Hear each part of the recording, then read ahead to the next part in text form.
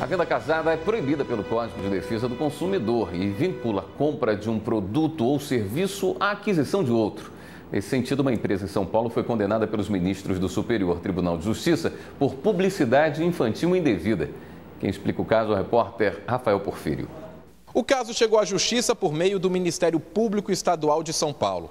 A ação civil é contra a campanha publicitária promovida por uma empresa que oferecia relógios inspirados em personagens infantis para o consumidor que comprasse cinco pacotes de biscoitos e pagasse mais cinco reais.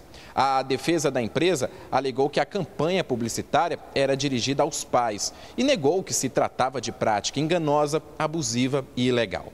Aqui no STJ, o ministro Humberto Martins considerou que a campanha publicitária seria venda casada que se aproveita da ingenuidade das crianças. Para outro ministro da segunda turma, Herman Benjamin, esse caso vai servir de referência para as campanhas publicitárias da indústria alimentícia.